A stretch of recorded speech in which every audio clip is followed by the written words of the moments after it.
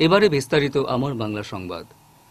Board of secondary education, Assam, অর্থাৎ সেবার অধীনে শনিবার কাছাড় জেলায় নবম ও দশম শ্রেণির পড়ুয়াদের মধ্যে বিনামূল্যে পাঠ্যপুস্তক বিতরণ শুরু হয়েছে।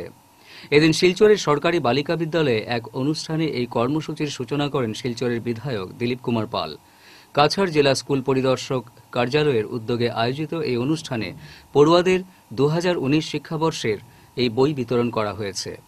এতে উপস্থিত ছিলেন বিদ্যালয়সমূহের পরিদর্শক সামিমা আলা, ইয়াসমিন লস্কর, একাডেমিক ইনচার্জ নিবেদিতা চক্রবর্তী প্রমুখ।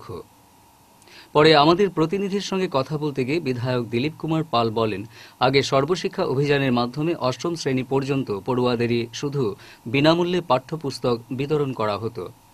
কিন্তু বর্তমান সরকার দারিদ্র সীমার নিচে বসবাসকারী ছাত্রছাত্রীদের মধ্যে যথাযথ শিক্ষা পৌঁছে দিতে নবম ও দশম শ্রেণীতেও বই বিতরণ শুরু করেছে। তিনি জানান, কাছাড় জেলার একশো চৌষট্টিটি স্কুলে এ ধরনের অনুষ্ঠান হবে। তবে শনিবার উদ্বোধন উপলক্ষে শুধুমাত্র পাঁচটি স্কুলকে পাঠ্যপুস্তক বিতরণ করা হয়েছে। আমাদের government girls multipurpose higher secondary স্কুলে ক্লাস নাইন টেন। নাইন টেনের ছাত্রছাত্রীদের বিনামূল্যে পুস্তক বিতরণ শুভারম্ভ হলো। আমরা খুব খুশি এই কারণে। আনন্দিত সরকার তার দায়িত্ব পালন করেছে। সেশন শুরু হওয়ার আগে সম্পূর্ণ বই আসেনি, কিন্তু আসা শুরু হয়ে গিয়েছে, যেটা আগে কখনো দেখা যেত না। আর এই যে পরিকল্পনা, আমরা জানি সর্বশিক্ষার অধীনে আমার ক্লাস এইট পর্যন্ত ছেলে মেয়েদের বিনামূল্যে পাঠ্যপুস্তক বা অন্যান্য সুযোগ সুবিধা দেওয়া হতো।